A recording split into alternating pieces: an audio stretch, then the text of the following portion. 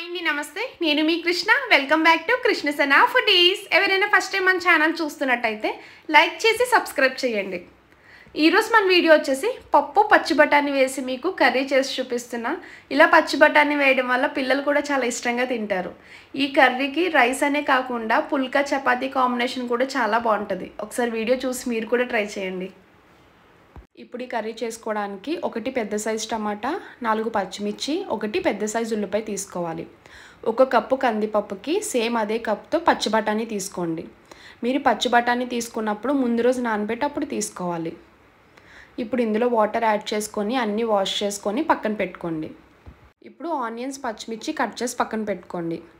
Onions cut చేసినప్పుడు పొడవుగా cut చేసుకోవాలి ఈ కర్రీకి. ఇప్పుడు మనం ప్రెషర్ కుక్కర్ పెడతాం కాబట్టి ఒక ఉల్లిపాయ అయితే సరిపోద్ది. మళ్ళీ తాలింపు పెట్టుకున్నప్పుడు ఇంకొక ఉల్లిపాయ యాడ్ చేసుకోవాలి. ఇలాగా ఉల్లిపాయ పచ్చిమిర్చి కట్ చేసుకొని పక్కన పెట్టుకోండి. కందిపప్పు పచ్చి బఠానీ ఇలా శుభ్రంగా రెండు మూడు సార్లు వాష్ చేసుకొని పక్కన పెట్టుకోండి. ఇప్పుడు ప్రెషర్ కుక్కర్లో వాష్ చేసి పక్కన పెట్టుకున్న పచ్చి బఠానీ కందిపప్పు యాడ్ చేసుకోండి.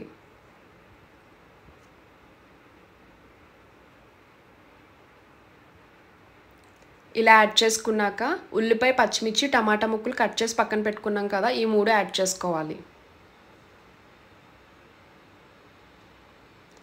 హాఫ్ స్పూన్ పసుపు ఒక స్పూన్ కారం ఒక స్పూన్ ఆయిల్ ఇవన్నీ వేసుకున్నాక ఉల్లిపాయ టమాటా ముక్కలు ములిగినంత వరకు ఒక గ్లాస్ వాటర్ యాడ్ చేసుకోండి.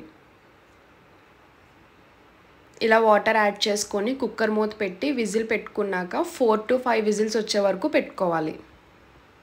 కుక్కర్ విజిల్ వచ్చేలోపు పోపులు తీసి పక్కన పెట్టుకోండి. హాఫ్ స్పూన్ ఆవాలు కొంచెం కరివేపాకు హాఫ్ స్పూన్ జీలకర్ర ఐదారు వెల్లుల్లిపాయలు తీసుకొని కట్ చేసి యాడ్ చేసుకోవాలి. నాలుగు ఎండిమిరపకాయలు చిటికెడు ఇంగువ ఇవన్నీ తీసుకొని ప్లేట్లో పక్కన పెట్టుకోండి. ఫైవ్ విజిల్స్ అయ్యాక కొంచెం చల్లగా అయ్యాక అప్పుడు కుక్కర్ మూత తీసుకోండి.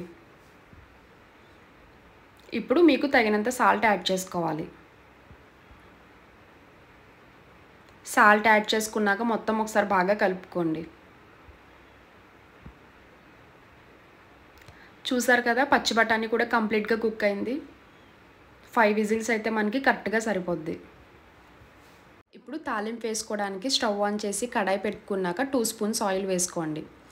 ఆయిల్ హీట్ అయ్యాక పోపులు తీసి పక్కన పెట్టుకున్నాం కదా పోపులు మొత్తం యాడ్ చేసుకోవాలి. ఇలా యాడ్ చేసుకున్నాక ద్వారగా ఫ్రై చేసుకోండి. పోపులు ఇలా ఫ్రై చేసుకున్నాక ఒకటి చిన్న సైజు ఉల్లిపాయ తీసుకొని చిన్న ముక్కల కింద కట్ చేసి యాడ్ చేసుకోండి. ఇలా ఉల్లిపాయలు యాడ్ చేసుకున్నాక వన్ మినిట్ ఫ్రై చేసుకోవాలి.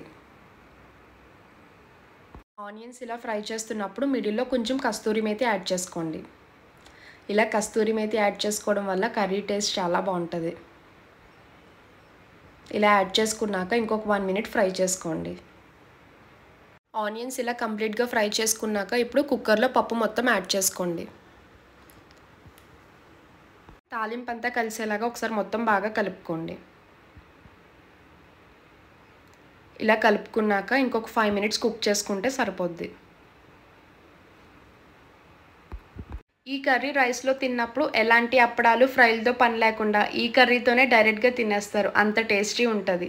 ఒకసారి తప్పకుండా మీరు కూడా ట్రై చేయండి. ఇలాంటి మరిన్ని ఇంట్రెస్టింగ్ వీడియోస్ కోసం కృష్ణ సనా ఫుడీస్ని లైక్ చేసి సబ్స్క్రైబ్ చేసుకోండి. Bye friends! Thanks for watching!